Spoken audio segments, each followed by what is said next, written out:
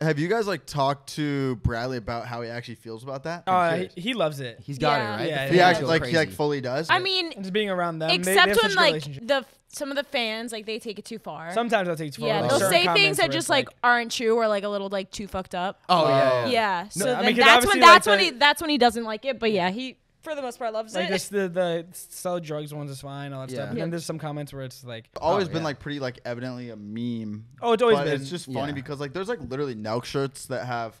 Bradley Martin's face on an Osama bin Laden photo. Yeah. Oh, no, Bradley, no, Steve will do it. Steve will do it, and then now, now they can kind of do whatever they want. Yes, they can literally get, do whatever they want. Not get canceled. Yeah. I, I, don't think so, Steve will, could ever get canceled. I love it.